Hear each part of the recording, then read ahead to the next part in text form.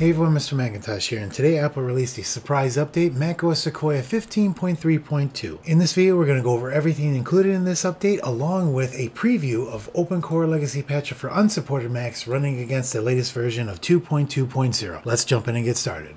Apple last week released new Mac hardware, including a new M4 MacBook Air and a new M3 Ultra and M4 Mac Studio. This is important because those devices were shipped with older versions of macOS Sequoia. The MacBook Air was shipped with 15.2 and the Mac Studio was shipped with 15.3. Now that's important because these two devices got a different update than the regular 15.3.2 that was released today. If we look at the full update release list today, we can see the difference here. We've got what's called is a forked full installer, which is 24D2082. And usually when you see four digits, that means it's hardware specific. And this particular build is only for the new M4 MacBook Air and the M3 M4 Mac Studio. For everyone else, the mainline update is 15.3.2 24D81. Now, along with Sequoia, there was no update for macOS Sonoma and there was no associated update for macOS Ventura. On the mobile side, we've got an iOS and iPad update 18.3.2,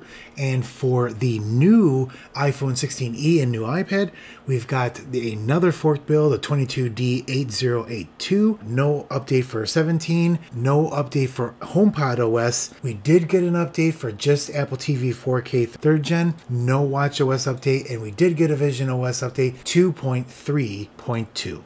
And we have two demonstration Macs here today and we are testing both platforms. I'm using an Mac Mini T2 from 2018, one of the oldest supported Intel devices. And for our Apple Silicon side, we're using a MacBook Air M1 2020. I selected these devices because they're one of the oldest versions available, so we want to be able to test the performance and how the update reacts to these different pieces of hardware. I have the MacBook Air sitting here and I'm using Screen Share to be able to do a connection directly to the machine so we can do our test here. For the update, all we need to do is go into System Settings and then go into General or click on Software Update, available when it checks for the software update. Once inside, we can see that the update is available for 15.3.2. If we want to be able to get more information about it, we can click that and we can see for Apple Silicon, the update's right here. All we need to do is click on Update Now. We'll click Agree and we'll enter in our user password. And there it goes. We're going to keep track on how long it takes to prepare and install each update on both platforms and we'll be right back after the installation is complete.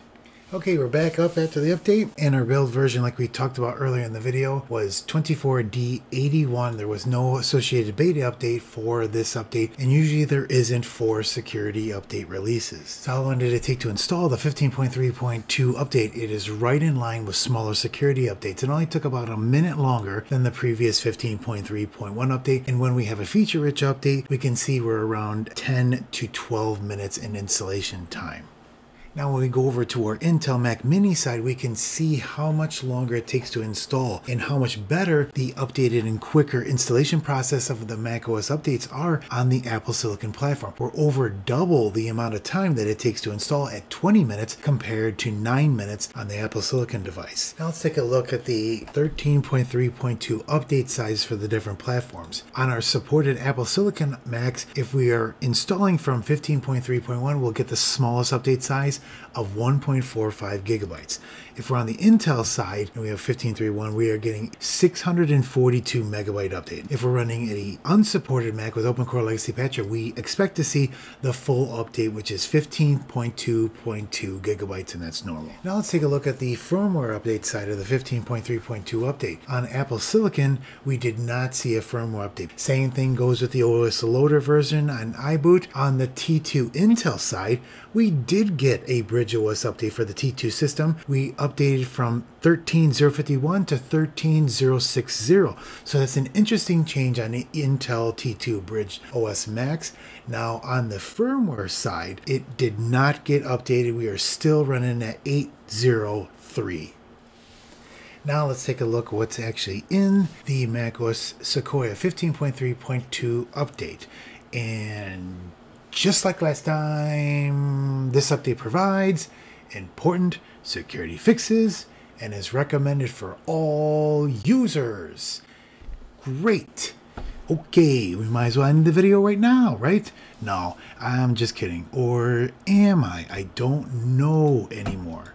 Let's try to dig a little bit deeper to figure this out. We are over at the Apple Security Updates and Rapid Security Response update page. This is kind of funny because we have not had an RSR update since Mac macOS Ventura. I don't even know why they still have this up here. And Mykola, I talked with him today and we kind of joked that I don't think Apple's ever going to come out with this again. We both agreed it's a great program and it's probably dead on arrival and will not be making a comeback. When we scroll down here, we can see macOS Sequoia 15.3.2 so when we go into the article, we can see the security updates, and we do have one for macOS Sequoia 15.3.2. Available WebKit Sequoia. Impact. The maliciously crafted web content may be able to break out of a web context sandbox. This is a supplementary fix for an attack that was blocked in iOS 17.2. Apple is aware of a report that this issue may have been exploited in an extremely sophisticated attack against a specific targeted individuals on version versions of iOS before 17.2. Description An out of bounds right issue was addressed with improved checks to prevent unauthorized actions. If we go over to the NIST.gov website, we can see and read more into the CVE, and we can see the source was reported by Apple Incorporated. It gives the full listing here, just like it does on Apple's website. Now, what's interesting about this too is, is that we saw there it was calling out iOS 17.2. Alignment update for 17.2 is macOS Sonoma 14.2. Now, what this is saying was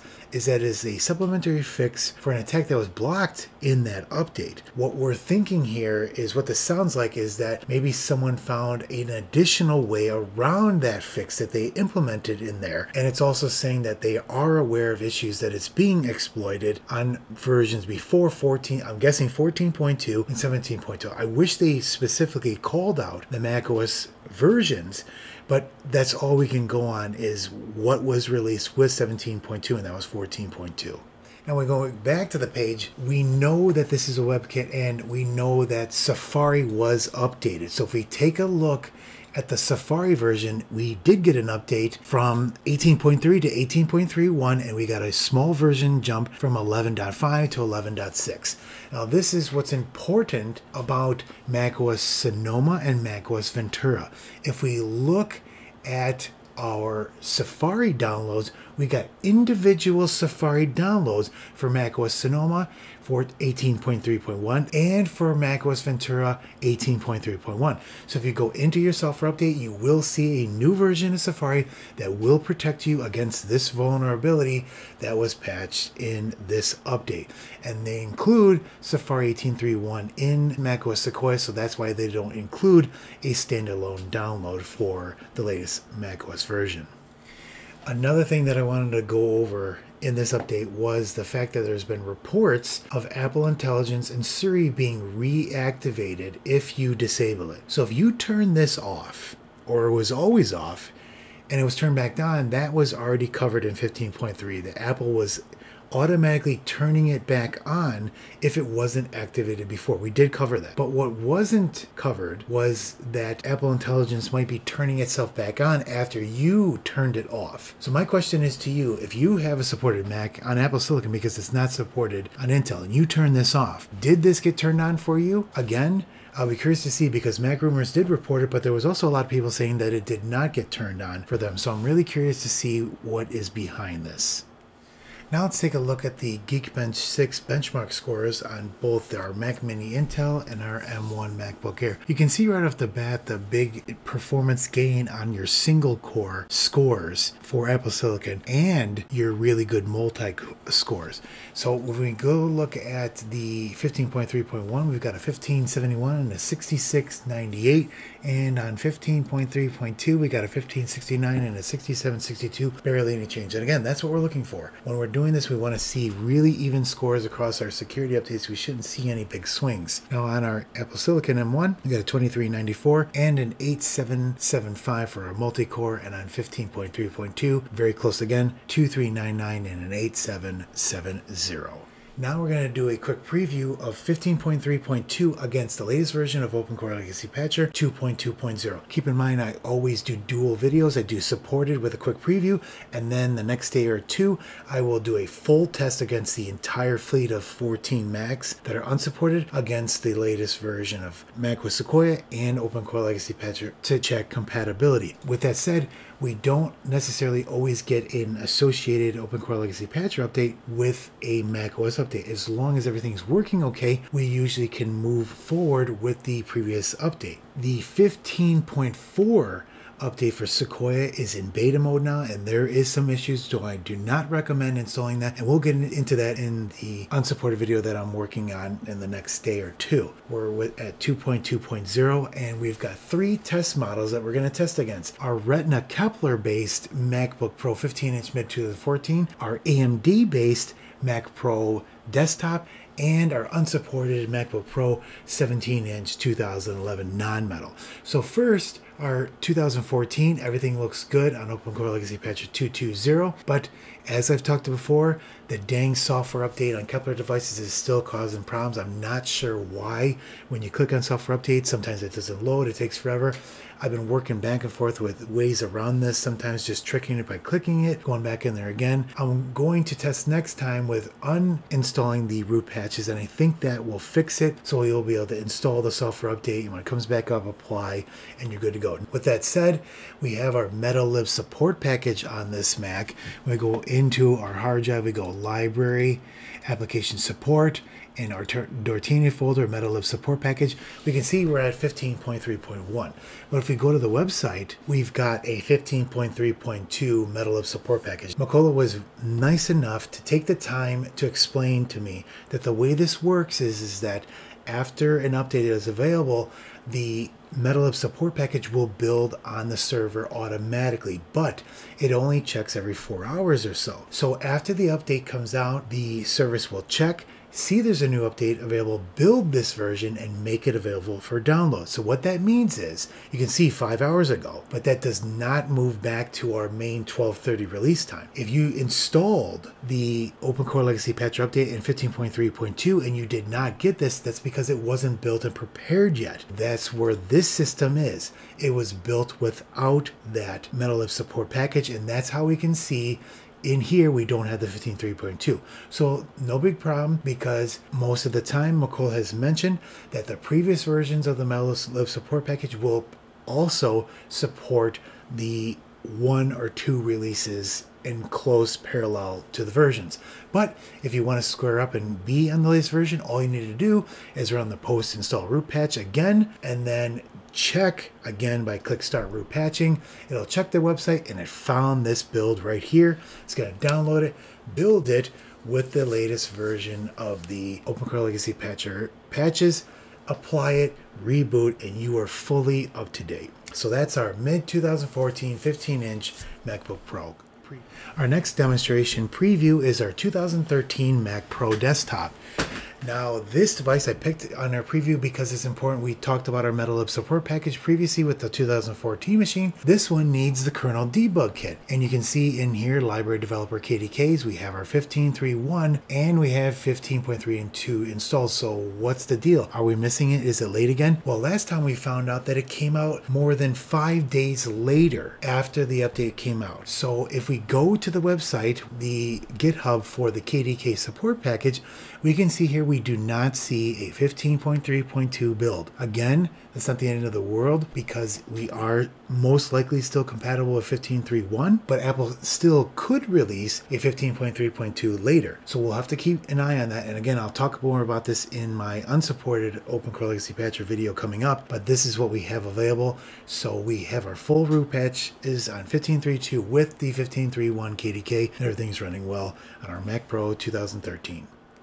Our third and final machine in our preview is our late 2011 17 inch MacBook Pro. We picked this one because it is non metal. Metal compatible video cards are important for metal heavy applications like maps, for example. So, this is a important machine to test for our preview. We're running 15.32 on our 220 system. Everything is running fine with no issues whatsoever. We'll have to keep an eye to see if that KDK 1532 comes out. If it does, we'll run those root patches again. We'll pull down that KDK and we'll be all squared away. And again, I'll cover this and more and 15.4 and the next version of OpenCore Legacy Patcher 230 in the next video tomorrow or the next day for unsupported Macs.